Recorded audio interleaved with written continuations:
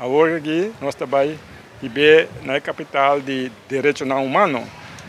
Nos, nos, nos casos está canando na de buyback rivalista está canando na New York no momento aqui, na parte de colonização para rivalista de territórios sem propagação, para nós start uma visão também de parte de direitos humanos na Europa, a Europa não está na altura de lo que está passando na Bonaire, seguro, a Friesland aqui, então não um, é, começa a ter uma oportunidade, então caminha, é, caminha, é, não está concentrado para direitos humanos, então não, nós estamos fazendo uma trajetória também, não, com o povo de Bonaire, aí seu direito não back, e aliviar, e também esse cambio não, que é necessário, no tempo, nós acaba como não.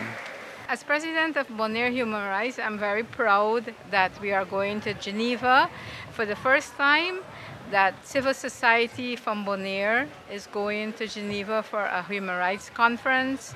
Uh, it is something very major and uh, our organization has many, many appointments and many um, workshops and we are off on the third voyage, the third phase of Bonaire Life Matters.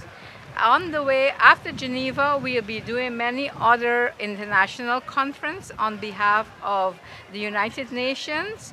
Uh, we are going to several parts of the continent and also the Caribbean. So we are gearing up. Hope that we can come back in one piece and give you all the information and the update on how we succeed in making awareness for the rights of the Bonairean people. Every day we see the, the rights of the Bonaire people are getting less and less. Politicians makes promises, but no one are really actually supporting or helping the indigenous Bonairean.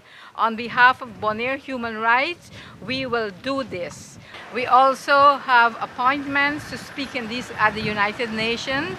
We have a reservation to speak, so you will see proof that we are in the United Nations in Geneva speaking on behalf of the Bonairean people.